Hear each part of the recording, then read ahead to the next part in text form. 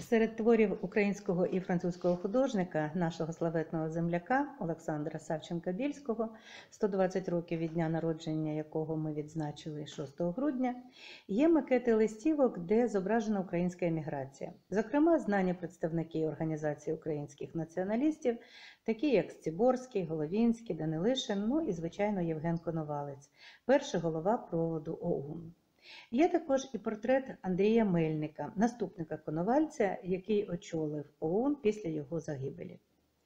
Працюючи з архівом художника, який зберігається в його родині, я знайшла цікавий документ, який люб'язно поділилась донька митця Ірен Годійо, і завдяки якому відкрилися нові цікаві відомості про діяльність українських емігрантів Франції, їх внесок у боротьбу за незалежну Україну. Це макет членської книжки для представників Українського народного союзу у Франції, датований 1942 роком, які робили пожертви на Державний фонд України, підтримуючи таким чином батьківщину, охоплене полем'ям Другої світової війни. На обкладинці ми бачимо герб, цікаво скомпонований тризуб, а на звороті портрет Андрія Мельника і підпис За Україну, за її волю і славу і честь. І це саме той портрет, про який вже згадувалось. 12 грудня виповнюється 130 років від дня народження цього видатного громадського і політичного діяча.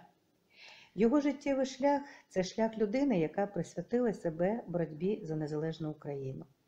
Спочатку від Австро-Угорщини і від Польщі, і пізніше від Радянського Союзу.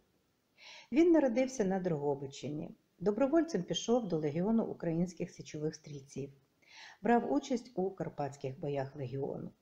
Потім потрапив до російського полону, звідки втік, і вже у січні 1918 року брав активну участь у визвольних змаганнях, після поразки яких змушений був емігрувати до Чехословаччини.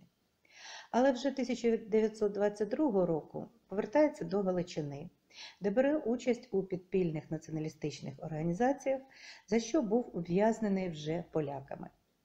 Після вбивства Євгена Коновальця, першого голови проводу українських націоналістів, у травні 1938 року стає його наступником і на другому великому зборі українських націоналістів проголошує український націоналізм ідеологію ОУН.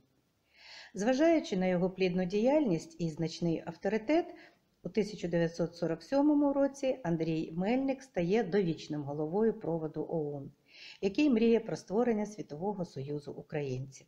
Повертаючись до роботи Савченка-Більського, а саме цієї книжки, можемо дізнатись і про ще одну патріотичну організацію зарубіжжя, а саме Український Народний Союз Франції, який був створений на початку 1930-х років з ініціативи ще одного відомого представника ООН Олександра Бойківа. Він теж пройшов тернистий шлях від Хорунжого Української Галицької армії до члену Сената ОУН. А ще саме він заснував приватну українську друкарню в Парижі і став першим редактором газети Українське Слово, яка виходить, до речі, і зараз, і де часом з'являються ілюстрації творів нашого славетного земляка.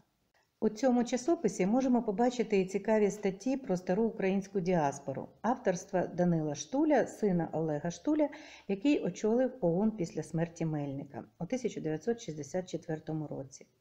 Минулого року мені пощастило познайомитись з ним під час проведення так званого українського обіду у містечку Френ, що під Парижем, і отримати у подарунок книгу про його батька під назвою Олег Штуль у боротьбі за Україну.